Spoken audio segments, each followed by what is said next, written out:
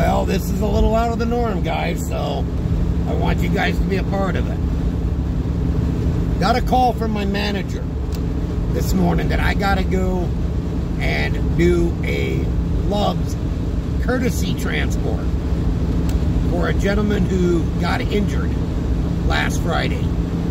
I can't go into the full details, but needless to say, his employer put him up in a hotel so he could get better.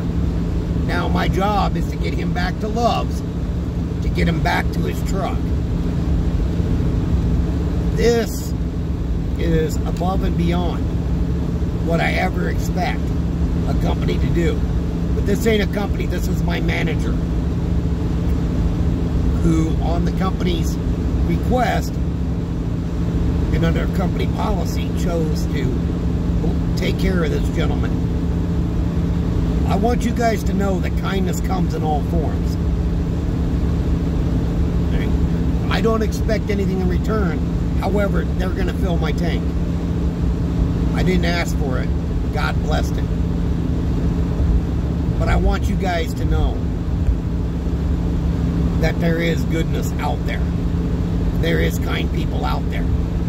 It's just very few and far between. But when they're doing the will of God, bless them even more so, O oh Lord. Bless those that care enough to take care of others. I want you guys just to have a little insight. This is a 30, almost 45 mile journey that I'm doing each way. So 90 mile round trip. This is how good God is.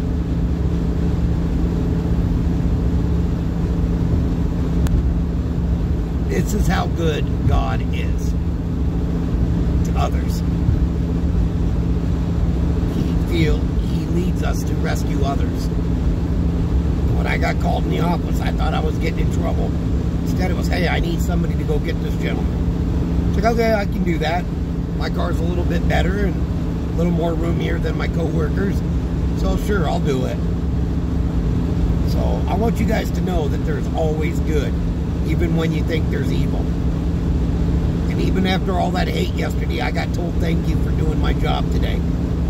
And that made me feel really good. Just stick to it. That's what I got told. But I want you guys to know God is good all the time. And all the time, God is good. Don't let haters destroy you. That's the advice I got yesterday. And amen to that. Love you guys. God bless.